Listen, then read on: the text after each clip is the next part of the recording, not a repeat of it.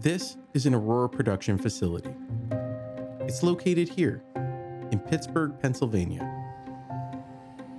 These builds are crucial in scaling from batch production to mass production, turning years of R&D work into a fleet of autonomous trucks. This process facilitates deeper integration with OEM partners, allowing custom equipment installed today to become factory options in the future.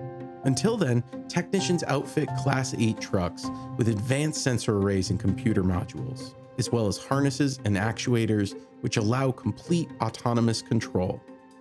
The platform is called the Aurora Driver. The Aurora Driver is Aurora's hardware and software systems that enable these vehicles to operate autonomously, as opposed to having mechanical linkages that would hook you know, an actuation like a foot pedal or a brake pedal mechanically to something else. It's all done by electronics. Gas, brake, steering, those are really the three main, right? I mean, uh, controlling the speed of your truck, the direction in which it's going to go, and where it's going to stop. As human drivers, we're constantly processing information about road conditions and then reacting using traditional vehicle controls. The process is basically the same for autonomous vehicles. Sensors collect information, which is processed by the computer making decisions for the Aurora driver. The system then acts on this information by sending electronic signals to the appropriate vehicle controls. The truck is a robot, and a robot doesn't need to sleep and it doesn't get tired.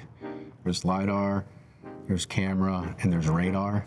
You've got the ability to see, you've got a point cloud, which is pretty important when you're traveling at highway speeds. Data from these sensors gives the Aurora driver detailed information about its surroundings so that it can operate safely and courteously on the road. It's imperative that these perception systems align to give a clear view of the world.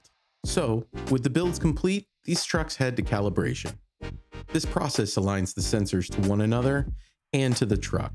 Calibration is important because we want to make sure what the Aurora driver is seeing is actually accurate. When complete, the calibration is validated on a nearby test pad by performing a series of predefined maneuvers.